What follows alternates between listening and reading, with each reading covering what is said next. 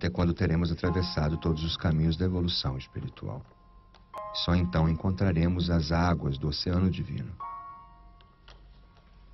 Uma existência é um ato, um corpo, uma veste, um século, um dia.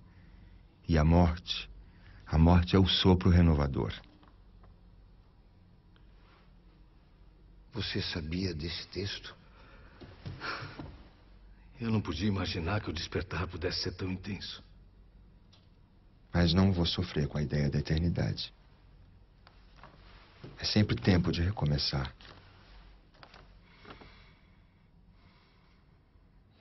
Agora, a voz divina que fala no santuário da minha alma é só perdão e amor. Zélia, me perdoe.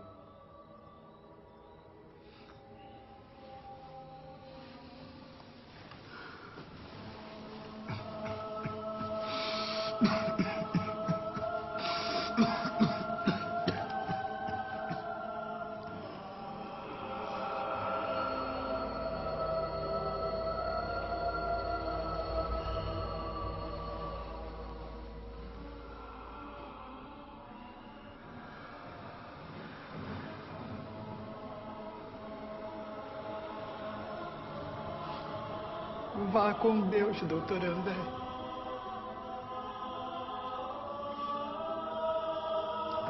Obrigado,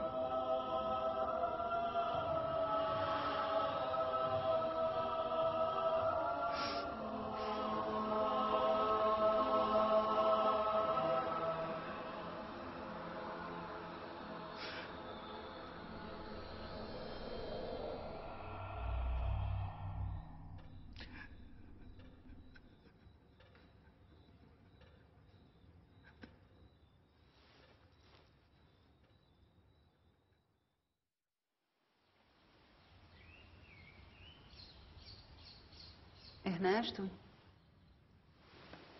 Meu Deus. Ernesto, acorda. Pelo amor de Deus, não faz isso comigo, Ernesto. Acorda! Respira, Ernesto. Respira! Estou doente, não surdo, Zélia. Ai, minha Nossa Senhora, que susto!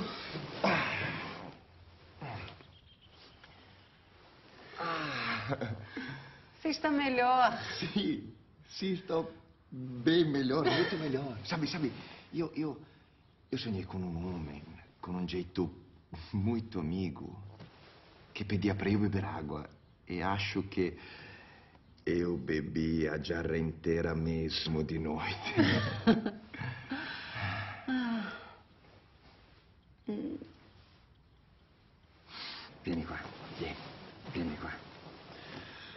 tesoro mio, tesoro mio. Eu não vou deixar você sozinha tão cedo, viu?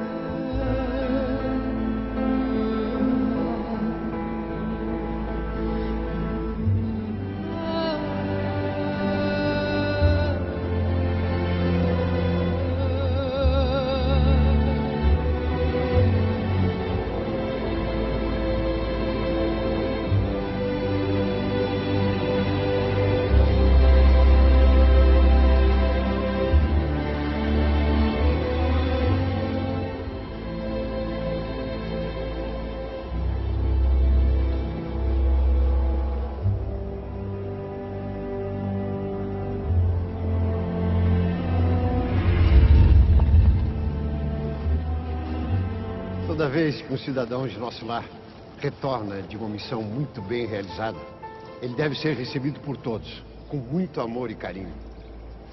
Bem-vindo de volta à nossa cidade, André. Obrigado por tudo, ministro. Ministro. Deve abrir uma vaga no grupo dos samaritanos. E será que eu poderia?